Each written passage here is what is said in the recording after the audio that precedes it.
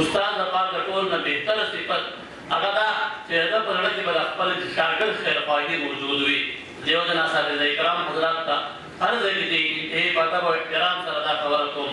اساتذه کرام ځان ته نوکر نه وي نو نو اساتذه کرام نوکران نه دي دا نه د سرکار نوکران دي دا نه د سکولو د ادارې نوکران دي دا ذمہ داران حق ته نوکر ځان ته ویل حیثیت راوړو استاد نوکر نه دی استاد معلم دی استاد مربی دی استاد ذمہ دار دی احساس ذمہ داری په خپل امر احساس کې او بل ته احساس ذمہ داری ورته دا ساته زه کرام کو تاسو خیال کړئ موږ واړو موږ ته مور بلا دعا کو دا دعا کې مولا نه کې یا الله زما مور بلا او زما استادان اقدارانو په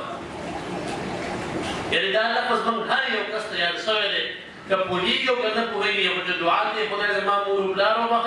او خدای